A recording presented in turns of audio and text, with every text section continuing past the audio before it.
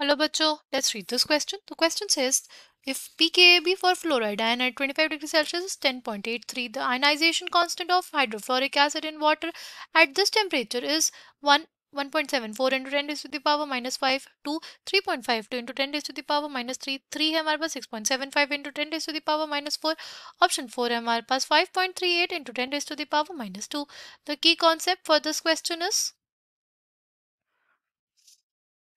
हमारे पास जो P K A होता है plus P K B is basically equals to P K W ठीक अच्छा अगर हम लोग बात करते हैं पी के बी की तो हमारे पास वो कितना दिया हुआ है? वो दिया हुआ है ten point eight three right कितने पे?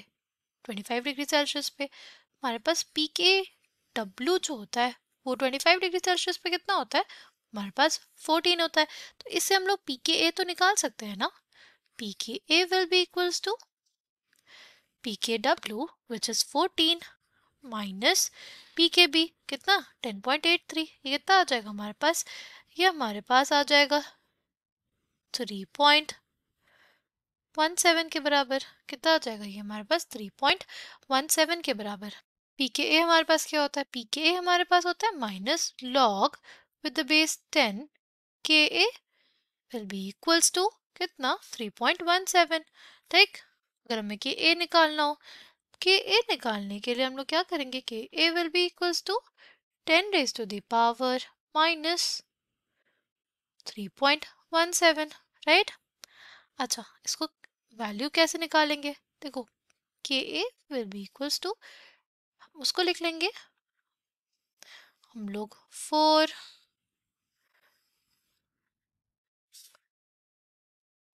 plus zero point eight three ठीक हो जाएगा ten raise to the power minus four plus zero point eight three के बराबर राइट और अगर हम लोग उसको ऐसे लिखना चाहें तो हम लोग लिख सकते हैं ना ten raise to the power minus four into ten raise to the power zero point eight three ठीक अगर हम लोग बात करते हैं कि हम लोग वैल्यू कैसे निकालेंगे ten raise to the power zero point eight three की तो देखो, हमारे पास log with the base ten seven की वैल्यू कितनी होती है? वो हमारे पास ज़ीरो पॉइंट एट फाइव के बराबर होती है।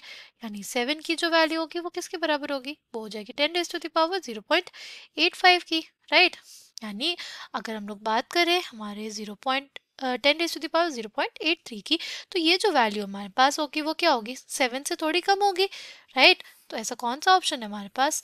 ऐसा ऑप्शन हमारे पास हो जाएगा ऑप्शन थ्री तो इसलिए इस क्वेश्चन का करेक्ट आंसर भी क्या हो जाएगा? Option three I hope you understood well thank you all the best